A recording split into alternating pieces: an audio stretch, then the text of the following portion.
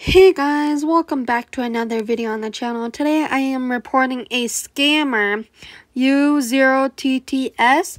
Like, she scammed my best friend Frog. Frog traded his gauntlets for 4,000 Robux, but U0TTS did not give him his Robux. So make sure if you see this girl, make sure to leave the game, because she could scam you guys next.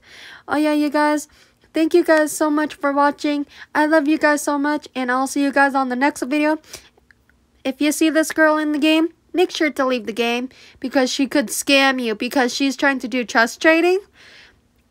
I know she's a YouTuber, but she um, posts a lot of videos, like good videos. She's acting like a good person, but she's not because she scams people.